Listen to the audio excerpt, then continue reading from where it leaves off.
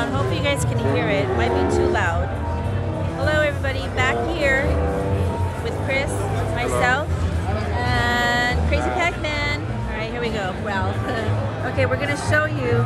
We're at the Yamaha booth, you guys. These are the people that I'm media, so um, most of the people that came in here through uh, for their badges were through Yamaha. I had a 100 person guest list. All right, here we go. So you had mentioned Steinberg. Yes, I was I can't handle uh, started off my recording career with Steinberg computer recording when computers was first starting to do audio. And Steinberg was the first one. I used it on my Mac. It was very buggy at the time Yeah. because computers weren't that powerful and it was a whole new thing. So I ended up switching over to Logic, but Steinberg was has since gotten very, very good. The Nuendo, which is like the pro version of it, Yeah. has been used for tons and tons of professional recording. It's their high-end version. Not sure what Dorico is. Yeah. Might have something to do with music notation software or something. Oh, that'd be be good. So, but it's a solid program. Yeah. All the audio programs have come a long way. It's all computer-based. Yeah. No more reels of tape and mixing boards and all that stuff. See now, I just started. Pro Tools would be its competitor. but I started using Ableton. Ableton, which used to be, is that owned by Sony now? I think, or all owned by somebody. I don't know. All the big companies gobbled up all these small companies. Okay, look. Oh, so sorry. This is mine. Oh, there you go. This is mine. Well, wait. Kind of. Mine is a 10XU. I don't know what the difference is. What's U? U probably has a USB thing on it. Oh, it is. It Let's is. see if this has a USB output. I don't see one. So yours could go into straight into a computer. Right. Oops, sorry. So yeah, this this is my version without the without without the U. So I have one, two, three, four, five, six, seven, eight, nine, ten channels. Yeah. Uh, 10 inputs. These are like stereo ones right here. Okay, I have a quick question. microphones in here. I have a quick question. In terms of sometimes sometimes it cracks just a tiny tiny bit. Is it because of my gain? I'm just curious. It could be the microphone needs a pad turned on because you're too close to the I microphone have my itself. microphone has a pad. Usually, most mic- microphones have a minus 10 dB pad. I would flick that first, so start it at the source. That'll turn the microphone output down by 10 dBs, Okay. which is like half. Okay. If it's still crackling after you do that, you probably have your gain up too high. Yeah, well, I've turned it down pretty, pretty. I've turned it down quite a bit, actually. So you really want to set this is your level. Right. So you want to put it, see where that little line is right there? Right. That's the no line. So set it like that, then go up to the gain and adjust that up and down and watch your VU meters, Right. wherever your meter is on here, over here. My meter's here. Yeah, so you'll be looking and you don't want it to hit peak. If it hits peak and turns red, that's when you're going to hear the crackle. And so then turn it would- down a little bit. Where would you turn? Yeah, this is the level here. That well, you have a gain up here, don't Oh, you? the gain, yeah, the Gain up here. here. You're going to be adjusting this. My gain is Watch pretty much down. Yeah, you're going to be watching your VU. VU. This may have a pad on it too. Right. It'll knock it down by 26 dBs, which is a lot. So if you're doing a bass drum or a snare drum, you probably want the pad on Okay. because the source itself is so loud. But if you're just doing your voice, you shouldn't have to use the pad. Right. I don't use that. Yeah. The only So time you- I, do, I turn it on is if I don't want to. So even talking, if you're just talking low and then you suddenly laugh Right. and you're real loud and it crackles, you're going to want to turn it down, a li- turn your gain down a little bit. Okay. If you wanted to hit right about zero. Okay. Hit into zero, sometimes maybe lighting up to plus six. Okay. If you're hitting peak, it's way too loud, so Sure. you're going to get distortion. And then your level here. That is Your mic level should be at. that's okay. for when you're doing little Right. temporary adjustments or when you're mixing down. The gain is where you're going to adjust it. This is where you're fine tuning. Okay. If for some reason you wanted to talk lower because you were playing a video or you turned your piano on or something, you do temporary adjustment to turn it down. Then you'll know to go back to this null spot to get your your original level where it was perfect. How about somebody who's like me, who is kind of not soft spoken, but my levels compared to like others are super low. Well, that's where each person would have their own mic, so you could do this for each voice. Right, okay. So you get the ideal level for everybody. Okay. And then again, you'll use these to fine tune it. This is all for fine tuning. So if you're listening back and he sounds too loud, you can turn him down a little bit right here. Right, okay. Or if a guest calls in and they're soft spoken or it's a bad phone connection, you know to crank them up a little bit and then I cha- know, then put it back to this line.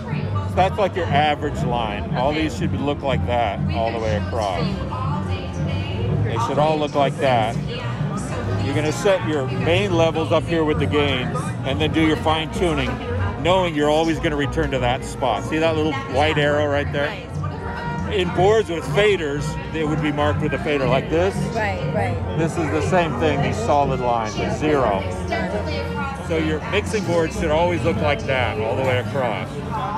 That's your null spot. And then you're gonna make temporary, like let's say you're doing a live mix and somebody's doing a guitar solo. You're gonna turn it up a little bit because you want that guitar solo part. Then when he's done with the solo, you go back down. So it's like your, your average spot. You adjust the levels up here and then this is for fine tuning. Okay. Perfect. Because you see how it's, it's bumping right now? That's pretty much where what's happening for me too. It bumps up to about six. Yeah, when you start getting plus six, you're pushing it. Okay. You just want it to barely light up yellow. Okay. That's actually a little bit too hot. Okay. I don't know if these are digital or analog. Are these digital? Might be. No, these are. They're probably analog. Okay, yeah, Guessing. probably. Analog does what's called soft distortion. It'll get fuzzy sounding. Yeah. Digital distortion, once you hit the maximum, it's going to crackle and sound horrible. You see why I like him? I love him. He's so freaking amazing. So you're, you should just be, the white should be flashing occasionally. So the guys that Really, I like to keep it around minus three. Just barely zero flashing, just a little bit. Then you'll be solid. Okay. This is a little too hot. If I was mixing this, I would turn this down a little bit. I would go, Yeah. let's bring this down so it's like See, that. and I had an opportunity to get like this. that. Yeah, I had an opportunity to get the 10, the 12, but I'm like, I don't even, I barely even use. I only use Yeah, for your one. purposes, Yeah. that's enough. You know, Yeah. it's all the same thing, just more of it. you Right. know? I love my Yamaha. Yamahas have great mixers. Their digital consoles have been the standard in the industry for years and years Yeah. and years. For live performances. Oh, there you go. There, look at Ralph.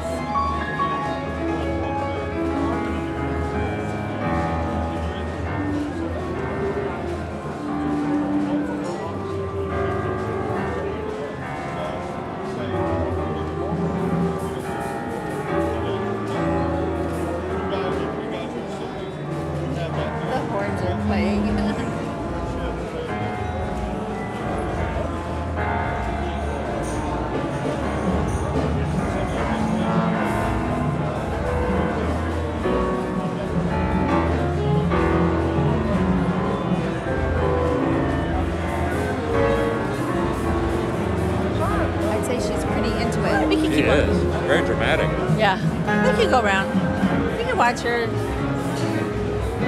I like that turntable she's on. I know. It's like out of a car show. It's a lazy Susan. it's like out of a car show. All right.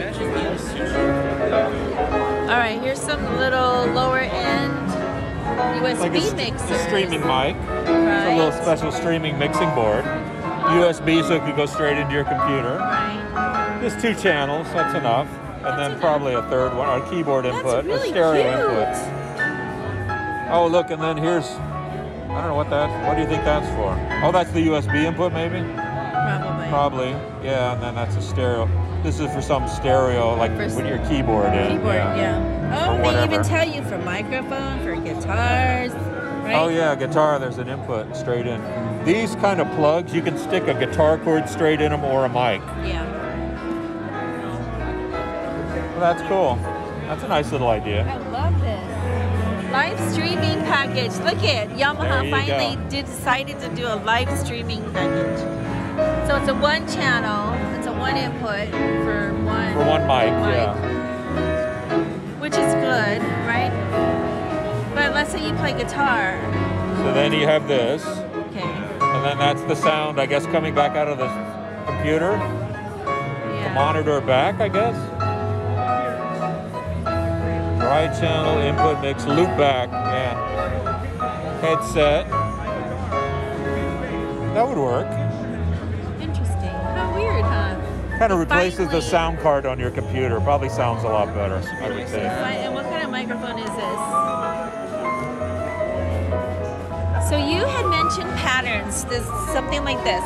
That's a, called a cardioid pattern. That Okay. means it picks up more in the front of the mic, and then it, as you get back towards the rear, it doesn't pick up back here. And as you go off to the side, it gets quieter and quieter, and the high end rolls off. So you really want to talk into it in a like angle like that. Right. Anything around here, that's the pattern. The pickup pattern looks like a heart. If you flip that upside down, it looks like a heart. That's why they say cardioid. Yeah. Your what? Your snowball does that? Yeah, my mic when I'm playing out. Yeah. That's So- yours has a lot of Blue Yeti as well. So when you see a mic like this, you got to make sure wherever this little symbol is, that's the front of the mic. Right. You want to talk in here. If you got a group of people and you put two people here and somebody here, it's not the mic. Yeah. It's not the oh, right mic. Yeah. It's not going to work. if there's one that's just a round circle, that means it's omnidirectional. Right. And it'll pick up evenly. Some Right. of them have a little switch and you can adjust it Got to it. a figure eight pattern. If you see one that's like an eight, that means it hears equally on either side and nothing on the sides. Right. and around. Some of them, and we'll, we'll probably see somebody go to, I'll point it out audio, and throw okay. audio. They have a switch. Okay. But if you don't understand what the symbols mean, you got it in the wrong place, you can have a problem. That's what I want to know too. I want to get more of that yeah. info. I'll show you when Okay. the mic's up.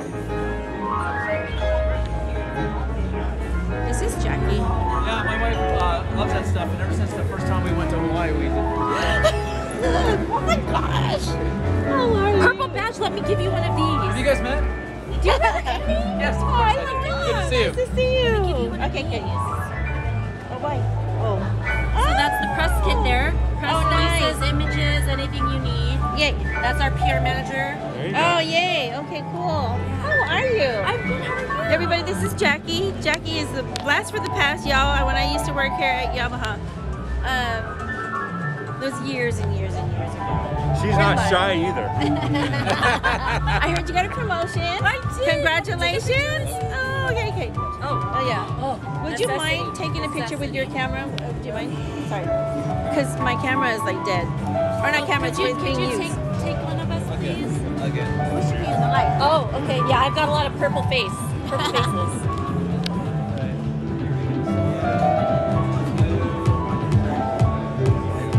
One for me from your camera. Oh. this is my friend Ralph, by the way. Ralph and my friend Chris. Hi, Ralph. Hi, Chris. I love how you do that.